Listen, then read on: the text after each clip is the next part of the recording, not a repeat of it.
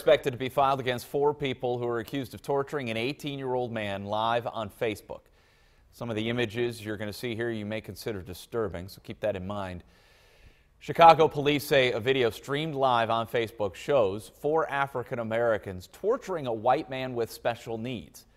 Police found the victim Tuesday, and they say he led them to a nearby house where the torture allegedly took place. Police stopped short of calling this a hate crime on Wednesday. That certainly will be part of whether or not a hate crime is, uh, if we seek a hate crime, um, to determine whether or not this is sincere or just stupid ranting and raving. I think some of it is just stupidity. You know, people just ranting about something that they think might make a headline. Some of that ranting in the video, the suspects repeatedly used profanity toward white people and President-elect Donald Trump. All four are in custody this morning. The victim is said to be traumatized but physically okay.